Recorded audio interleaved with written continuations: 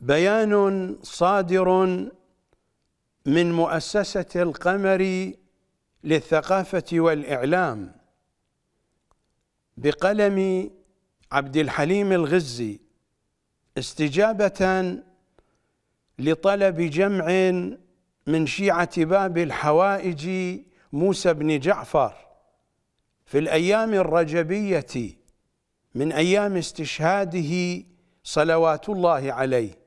ولعن الله قاتليه لأجل تشخيص الموقف العقائدي وتحديد الموقف الفتوائي في اللحظة الشيعية الراهنة بحسب دين العترة الطاهرة بعيدا عن قذارات المذهب الطوسي اللعين مذهب مراجع النجف وكربلاء.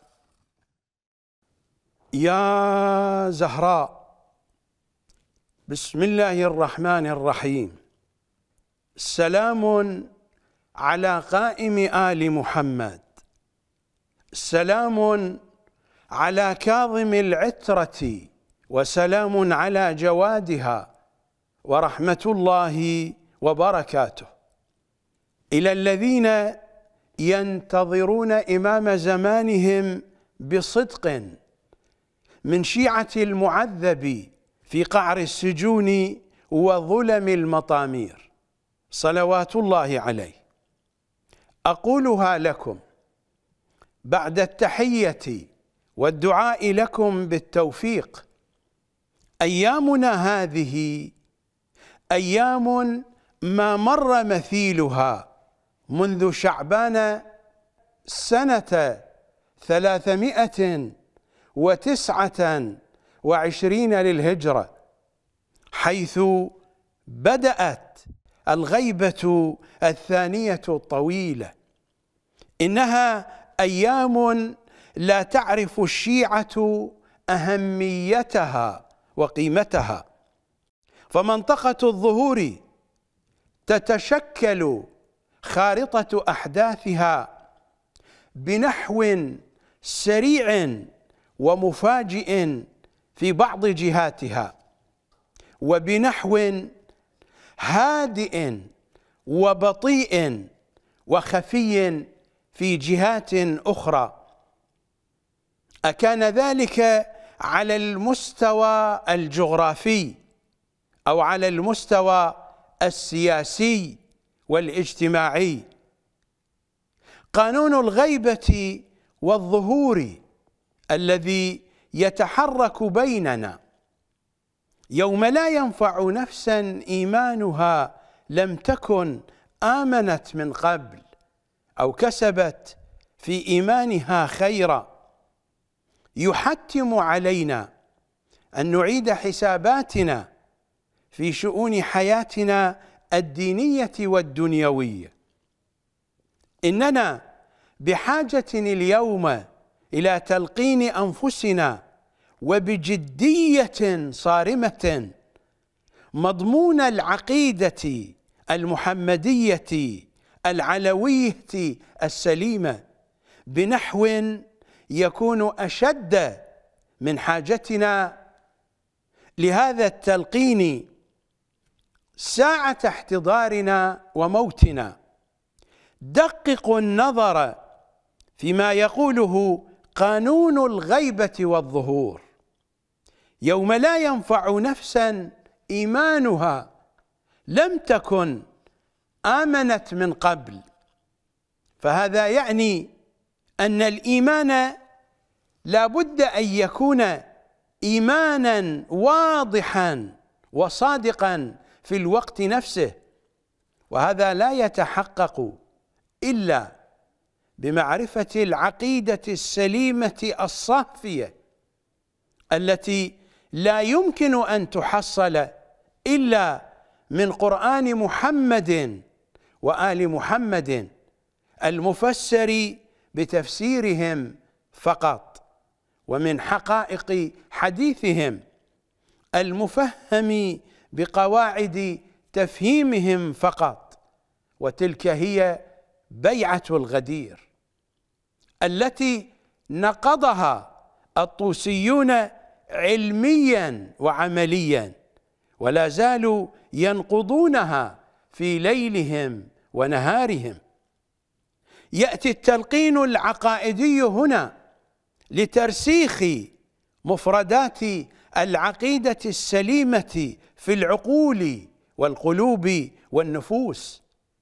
وكل هذا لا بد أن يكون مصحوبا بإعادة النظر في تقييمنا لمن حولنا من الأشخاص أو الجهات الذين يجعلون الدين شعارا لهم وشيئا يدعونه في واقع حياتهم. ويضحكون به على الآخرين. مثلما يفعل أصحاب العمائم الطابقية في أجوائنا الشيعية خصوصا كبار الشياطين منهم. وإني هنا أذكر نفسي وأذكركم بشيء مما جاء في الرسالة التي بعثها إمامنا الكاظم صلوات الله وسلامه عليه من محبسه في أيام قريبة من موعد استشهاده لعن الله قاتليه. بعثها إلى علي بن سويد السائي بنحو خاص ومنه إلى عامة الشيعة. ذكرها الكليني في الجزء الثامن من الكاف الشريف المعروف بالروضة. أقتطف منها جملا موجزة فالرسالة طويلة. إن إمامنا الكاظم صلوات الله عليه يريد منا أن نعيش هذه الأجواء ونرسخها في واقعنا الراهن. اولا حيث يخاطب الإمام الكاظم علي بن سويد. أما بعد فإنك امرئ أنزلك الله من آل محمد بمنزلة خاصة. ثانيا لا زال الإمام الكاظم يخاطب ابن سويد السائي. رأيت أن أفسر لك ما سألتني عنه. مخافة أن تدخل الحيرة على ضعفاء شيعتنا من قبل جهالتهم. ثالثا إن أول ما أنهي إليك أني أنعى إليك نفسي في ليالي هذه غير جازع ولا نادم ولا شاك فيما هو كائن مما قد قضى الله عز وجل وحتم. فاستمسك بعروة الدين آل محمد والعروة الوثقى الوصي بعد الوصي والمسالمة لهم والرضا بما قالوا ولا تلتمس دين من ليس من شيعتك ولا تحبن دينهم فإنهم الخائنون الذين خانوا الله ورسوله وخانوا أماناتهم. رابعا وسألت عن رجلين. السائل هو علي بن سويد وسألت عن رجلين إلى أن يقول إمامنا الكاظم صلوات الله عليه متحدثا. عن قتلة الزهراء صلوات وسلام عليها. فلعمري لقد نافقا قبل ذلك ورد على الله عز وجل كلامه وهزئا برسوله وهما الكافران. عليهما لعنة الله والملائكة والناس أجمعين. والله ما دخل قلب أحد منهما شيء من الإيمان منذ خروجهما من حالتيهما. من حالتيهما حينما كان على الجاهلية وبعد ذلك انتقل إلى حالة جديدة حين أظهر إسلامهما. والله ما دخل قلب أحد منهما شيء من الإيمان منذ خروجهما من حالتيهما وما ازداد إلا شكا كان خداعين مرتابين منافقين حتى توفتهما ملائكة العذاب إلى محل الخزي في دار المقام. خامسا فإذا رأيت المشوه الأعرابي إمامنا الكاظم وهو في الطامورة يوجه أنظارنا إلى السفياني فإذا رأيت المشوه الأعرابي في جحفل جرار فانتظر فرجك ولشيعتك المؤمنين. إنه السفياني الذي يقول عنه أمير المؤمنين صلوات الله وسلامه عليه مثلما روى ذلك الصدوق في كمال الدين.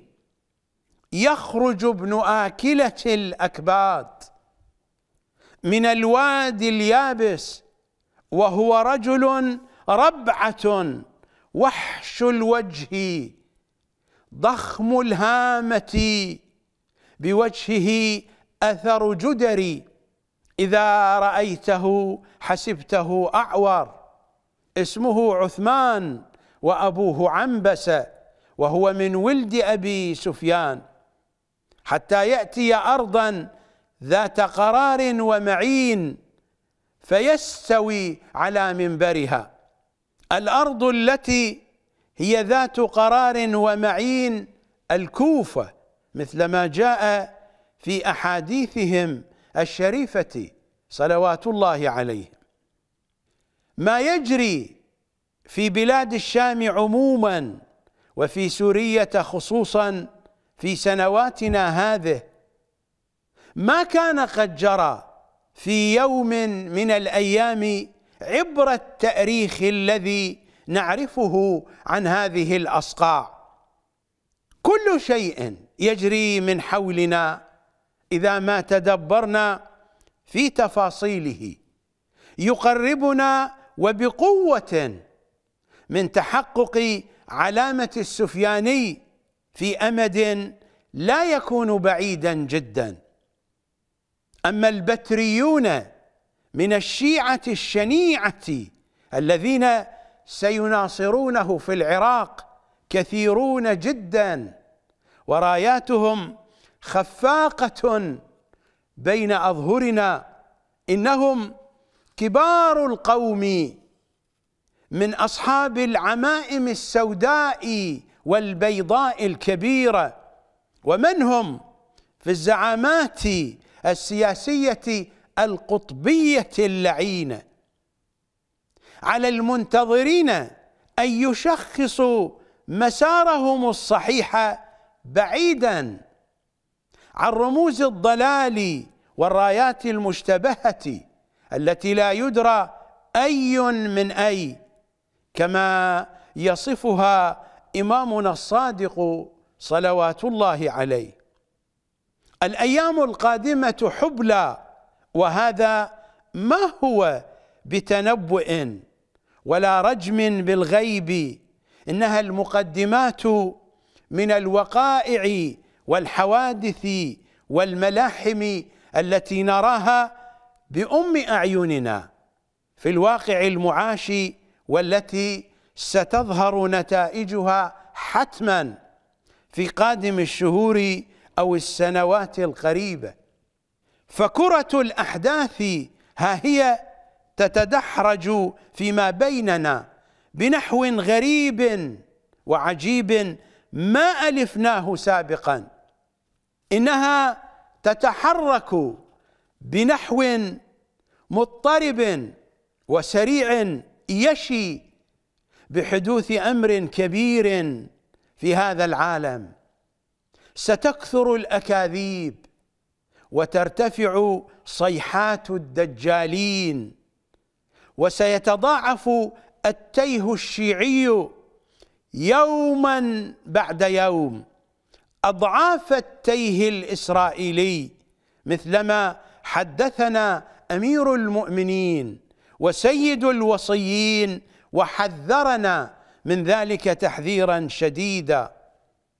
إلا أن الذين يقولون نحن شيعة يعشقون تيههم وضلالهم مع عجولهم البشرية اللعينه التي هي أعجز وأفشل وأسوأ وأشنع وأقبح وأغبى من عجل بني إسرائيل. إذ كان عجل اليهود له خوار كخوار العجول. أما عجول الشيعة فهي إما أن لا خوار لها. صماء بكماء داؤها العي والغباء. وإما أن لا تحسن الخوار حيث هم مضحكة مسخرة. حين يصدرون الأصوات من أفواههم بالضبط وبالدقة كما تصفهم سورة الأعراف.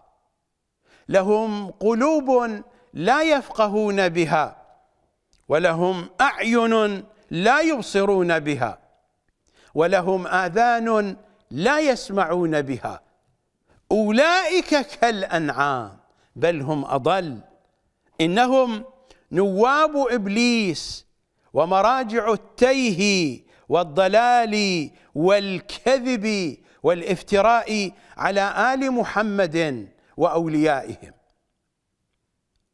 هنالك أخبار تنقل عن أطباء السيستاني وعن بعض أفراد أسرته من أنه يعيش أيامه الأخيرة لا أعلم مدى دقتها.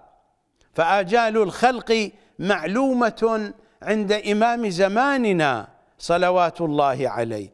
أما أنا وأنتم وأمثالنا فلا علم لنا بها.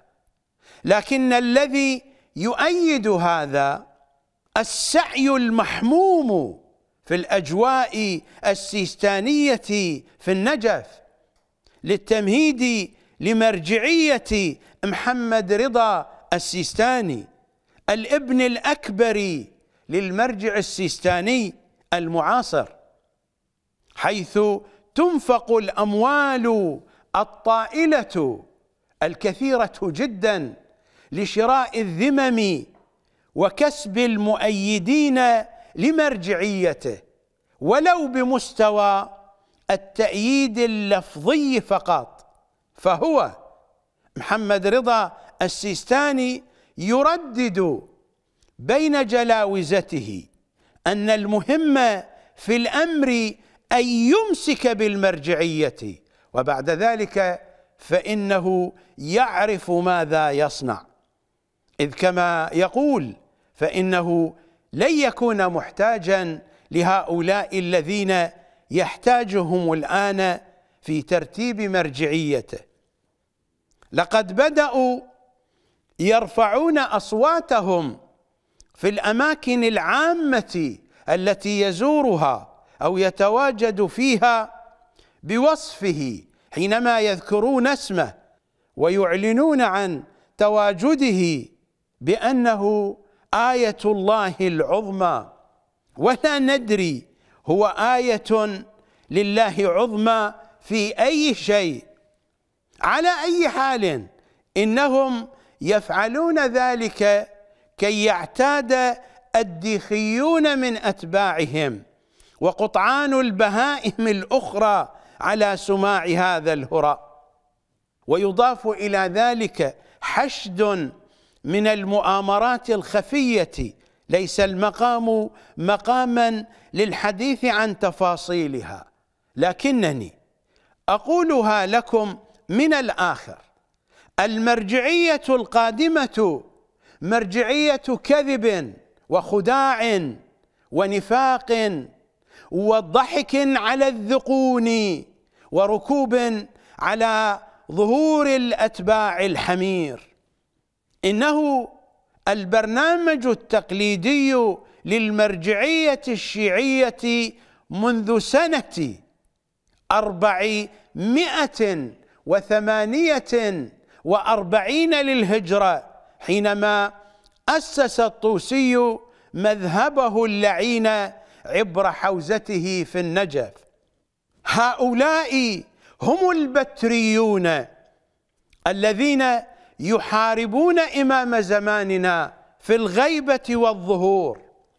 فهم يفعلون هذا الآن وسيفعلونه وبنحو أشد. إن أدركوا عصر الظهور بأنفسهم فإن لم يدركوا ذلك فعبر أجيالهم القادمة من أتباع المذهب الطوسي اللعين. واجبنا جميعا نحن الذين نصف أنفسنا وإن كان بمستوى الادعاء فقط كما هو واقع الحال بأننا زهرائيون. أن نعزل أنفسنا عن هذا الواقع الشيعي الطوسي البتري القذر. وأن نتفرغ لنشر دين العترة الطاهرة بقدر ما نستطيع. كل بحسبه. الوقت مناسب جدا والعمل لا بد أن يتحرك في كل الاتجاهات الممكنة. من دون الصدام مع أي طرف من الأطراف. ابتعدوا تماما عن الزعامات الدينية البترية القذرة والسياسية القطبية الوسخة من كل أصنافهم. علموا أنفسكم وعلموا الآخرين ما يطرح من الحقائق في برامج قناة القمر. خطابي ليس موجها للجميع. مجنون هذا الذي يخاطب الجميع في واقع كواقعنا الشيعي البائس الغبي الأثول. خطابي للذين يتذوقون المنطق الذي يشكل روح هذا البيان. حذاري أن تكونوا أعوانا للبتريين اللعناء في حوزة النجف وكربلاء ولو بعنوان التقية تخدعون أنفسكم بذلك. وتخدعون الآخرين فإن زماننا لا ضرورة للتقية فيه. إلا في حالات خاصة أو حالات نادرة جدا. لا تكونوا في جموع الغوغاء ممن يكثرون سوادهم. إنكم بذلك تكونون في الصف المحارب لإمام زمانكم صلوات الله عليه. هذا بيان للحقيقة كي لا يقول قائل منكم من أن الأمر لم يكن بينا عنده ومن أن أحدا لم يكشف الحقيقة له بنحو علني واضح. أضعف الإيمان أن تكونوا أحلاس بيوتكم ولا تورطوا أنفسكم بقذارة هؤلاء البتريين من كل أصنافهم النجفية والكربلائية فبعضهم أسوأ من بعض. قذارات فوقها قذارات وظلمات فوقها ظلمات وجحيم فوقه جحيم. ألا لعنة الله على عقائدهم الضالة التي تخالف عقائد دين العترة الطاهرة بدرجة مئة في المئة. لا تصطدموا بهم. لا شأن لكم بهم واتركوهم يتهارشون على جيفتهم.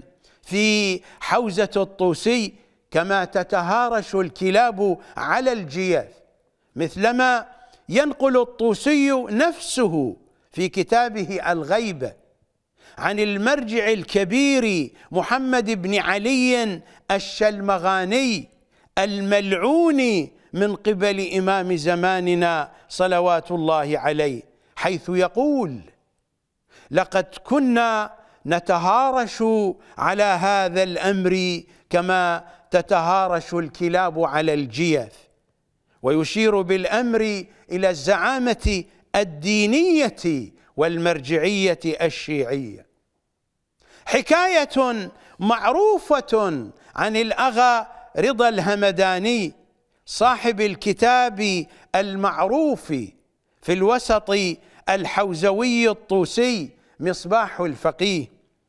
بعد موت المرجع الأعلى في عصره الميرزا محمد حسن الشيرازي اتفق أكثر تلامذته على أن تكون المرجعية لأغا رضا الهمداني. فذهب وفد من كبار العلماء في ذلك الوقت إلى داره لعرض الموضوع عليه. فلما استقر بهم المجلس وأحس أغا رضا الهمداني أنهم سيبدأون بحديثهم باغتهم وفاجأهم مع سبق الإصرار والترصد. بضرطة مدوية هائلة أخذ صداها يتردد في المجلس مما دفعهم أن يخرجوا مسرعين محرجين. وحين سأله ولداه عما فعل أجابهم من أن القوم يريدون جره إلى جهنم ولقد نجا من جهنم بضرطة لا غير. ضرطة واحدة فقط لا غير هي قيمة المرجعية الشيعية العليا بنظر هذا الفقيه الطوسي الأصولي المعروف. والحقيقة أنه وضع لها قيمة أكثر مما تستحق. فضرطة واحدة كثير عليها إذ أن قيمتها الحقيقية تلك التي وضعها لها إمامنا الصادق صلوات الله عليه في رواية التقليد حين وصف أكثر مراجع التقليد عند الشيعة والذين تقلدهم الشيعة زمان الغيبة الطويلة. من أنهم أضروا على الشيعة من جيش يزيد على الحسين بن علي وأصحابه. إنها نجاسة وأنجس من النجاسة. تلك المرجعية البترية القذرة التي يكون مراجعها أضر من شمر وأضر من حرملة لعنة الله عليهما. كانوا ولا زالوا يتهارشون في النجف وكربلاء على هذه النجاسة اللعينة. وهم في أواخر أعمارهم. سود الله تعالى وجوههم في الدنيا والآخرة. يكذبون ويفترون ويبهتون من دون حياء أو خجل. ويحفر بعضهم تحت البعض الآخر عداوة فيما بينهم ويحيكون المؤامرات لبعضهم البعض بغضا وحقدا ويصنعون المقالب نفاقا وكيدا. الحسد يقتلهم والطمع يفترسهم واللؤم القبيح يهيمن عليهم. الخير منهم ميؤوس ولا يتوقع منهم إلا الشرور والقبائح. هذه حقيقتهم من دون مجاملات أو مخاوف. قمامة قمامة قمامة عوراتها ظاهرة فاضحة لمن يملك عينين. خذوها إليكم صريحة نقية واضحة. وبعد وضوح الصورة أقول لكم. اولا لا تجعلوا الوقت يفوتكم كما هو ديدن الشيعة عبر تاريخهم يلتفتون وينتبهون بعد فوات الأوان. ولذا فهم عبر التاريخ من خسارة إلى خسارة ومن خذلان إلى خذلان. لا يعرفون الحقيقة إلا بعد فوات الفرصة السانحة. مع ما يغلب على ظني أن أمرنا اليوم أيضا لن يتجاوز هذا الوصف. ثانيا يا أيها الشيعة يا أيتها القربة المزروفة يا أيها الشيعة يا أيتها القربة المزروفة الوقت حساس والمرجعية البترية القادمة ضعيفة مهما كانت والنجف تغلي والجمر تحت الرماد. لا تورطوا أنفسكم بصراعاتهم الدنيئة الوبيئة وإنما اجعلوا كل جهودكم لنصرة إمام زمانكم وإحياء أمره بعيدا عن العجول والأصنام والسفهاء وبرامجهم ومخططاتهم التي لا تخدم إلا مصالحهم الشخصية القذرة. رسخوا أقدامكم في الأرض وأسسوا لكم وجودا مجتمعيا واسعا بقدر ما تستطيعون. وانتشروا في كل مكان بإمكانكم أن تنتشروا فيه على الأرض أو في العالم الافتراضي.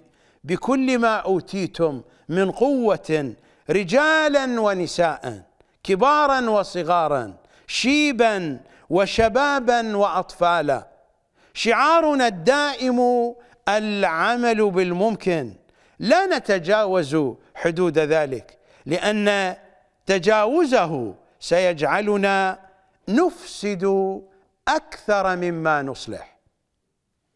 ثالثا بإمكانكم أن تصنعوا لأنفسكم مساحة اجتماعية من دون خوف أو تقية من أحد إذا ما تحركتم بذكاء وحكمة دون الاصطدام بالمرجعيات والزعامات الدينية والسياسية السفيهة التافهة.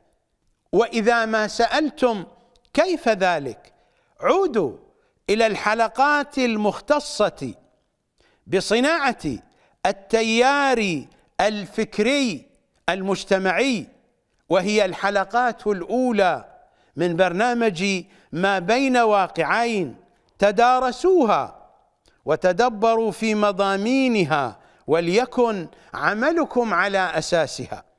رابعا هناك مساحة سنية مهمة في العراق وغيره من البلدان الأخرى ممن أصبحوا يتذوقون منهج قناة القمر. ابحثوا عنهم. وتواصلوا معهم عبر الإنترنت. خامسا برامج قناة القمر فضحتهم فما عادت جهالة مراجع النجف وكربلاء وسفاهتهم وحماقتهم وقذارتهم وبعدهم عن دين العترة الطاهرة بأمر خفي مهما فعلوا. هم وأبناؤهم وأحفادهم وأصهارهم وجلاوزتهم والأحزاب الناصبية القطبية التي تلتقي مصالحها معهم. إنهم يخدعون البهائم من أتباعهم والبهائم بهائم لا قيمة لهم.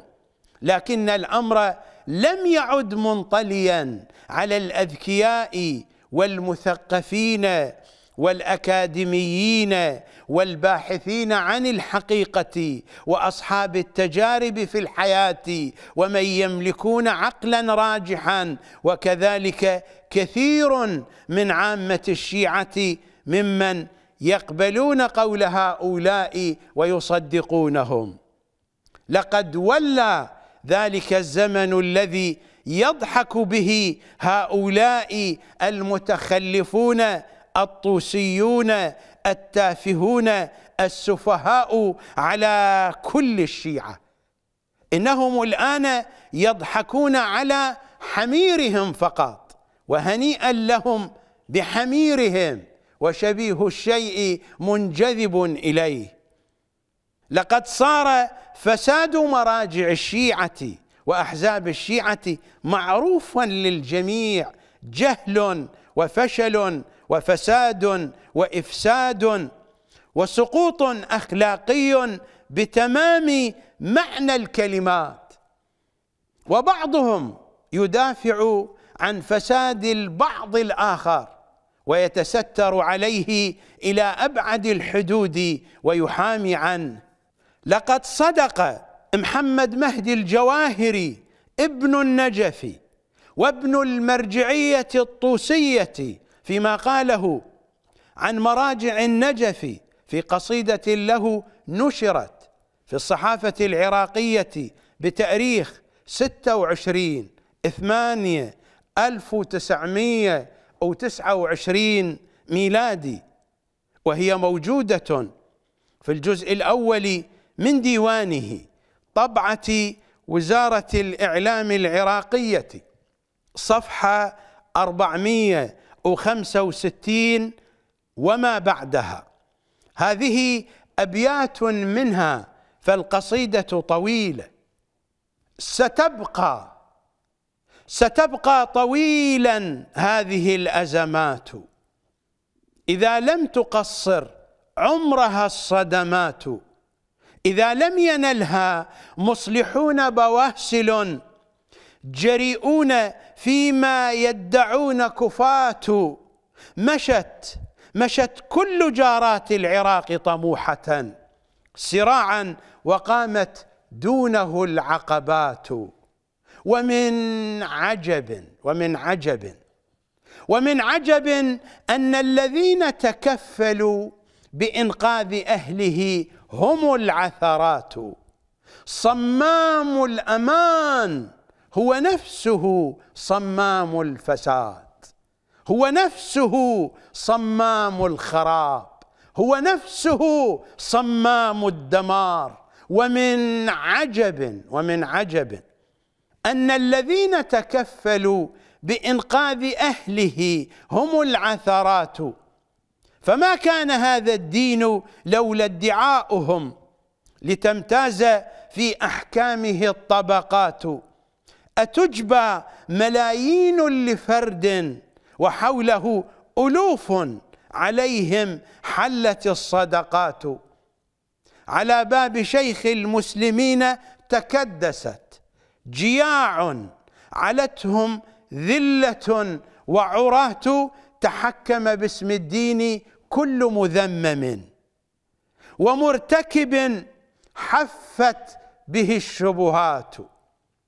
تحكم باسم الدين كل مذمم ومرتكب حفت به الشبهات وما الدين إلا آلة يشهرونها إلى غرض يقضونه وأداة وخلفهم الأسباط.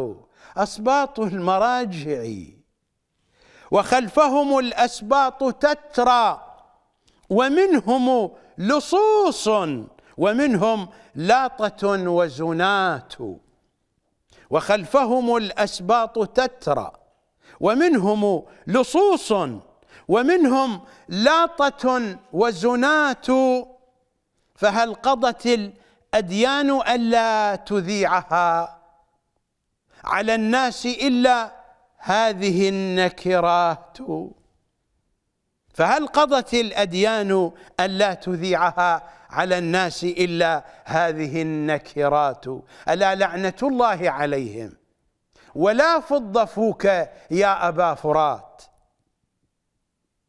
وإن النجف اليوم بفضل المرجعية السيستانية وسائر المرجعيات الطوسية القذرة الأخرى لهي أسوأ وأقبح بكثير وكثير وكثير جدا مما كانت عليه أيام هذه القصيدة. فاعتبروا يا أولي الأبصار هذه القصيدة نشرت في الصحافة العراقية 26 8 1929 ميلادي. سادسا عليكم بالتعليم والتعليم والتعليم. علموا أنفسكم اولا وعلموا غيركم ثانيا. تعلموا وعلموا بحسب الإمكان. عقيدتكم وأحكام دينكم. وعليكم بالإعلام والإعلام والإعلام لأنفسكم اولا ولغيركم ثانيا. انشروا الثقافة الزهرائية بحسب ما تستطيعون. والذي لا تتوفر له الأسباب فمعذور ومعذور. واستعينوا في كل ذلك بقناة القمر في شاشتها التلفزيونيه ومنصاتها الالكترونيه فأنتم معها في أيد امينه وأتمنى لكم من كل قلبي التوفيق والفوز والنجاح. سابعا لا تعبأوا بالنتائج المرئية والمحسوسة لعملكم. نحن لسنا سياسيين قطبيين نبحث عن نتائج صناديق الانتخابات بالغش والتزوير ولسنا مرجعيين طوسيين نبحث عن عدد المقلدين الديخيين ومقادير الأخماس المسروقة من الشيعة باسم صاحب الزمان صلوات الله عليه. عملنا فكري عقائدي ثقافي محض ومثل هذا العمل يحتاج إلى نفس طويل. فالعمل الفكري بطيء الحركة جدا وبطيء الانتشار جدا لكنه إذا استقر في مكان لن يستطيع أحد إزالته. ولا بد أن تعرفوا أن الفكر لا يجتذب البشر البهائم والديخيين الطوسيين إنما يبحث عنه الأذكياء والمثقفون والباحثون عن الحقيقة بصدق والحريصون على علاقتهم بإمام زمانهم صلوات الله عليه. ومن كان على هذه الشاكلة الدنيا مزرعة الآخرة لا هي بمزرعتنا ولا بمزرعة آبائنا إنها مزرعة الحجة بن الحسن العسكري والزارعون فيها لن يزرعوا إلا بتوفيقه أما النتائج فهو الذي يرعاها ويجنيها فما كان لله ينمو في هذه المزرعة المهدوية وليس بين الناس. ولذا فإن النتائج قد تظهر بعد موتنا في جيل قادم إلا أن المهم والأهم أن تكون زراعتنا في مزرعته صلوات الله عليه لا في مزرعة غيره. فما نحن إلا عبيده وخدمه. والعبد وما في يده لمولاه. سلام سلام على وجهه الذي هو وجه محمد المصطفى صلى الله عليه وآله. سلام على قلبه الذي هو قلب الزهراء صلوات الله عليها. إذ هو السر العلوي السبحاني المستودع فيها. سلام سلام سلام يا إمام. عبيدك بالانتظار. نحن مستعدون وبتوفيقك. وإذ أودعكم أقول بملء فمي قول الحق مر ومر جدا وضريبته ثقيلة وثقيلة جدا. ولكن هذا أقل ما يمكن أن يكون في خدمة إمام زماننا صلوات الله عليه. زهرائي أنا عبد الحليم الغزي رجب آل محمد 1445 هجري قمري مؤسسة القمر للثقافة والإعلام. والسلام عليكم رجالا ونساء كبارا وصغارا شيبا وشبابا واطفالا ورحمة الله وبركاته.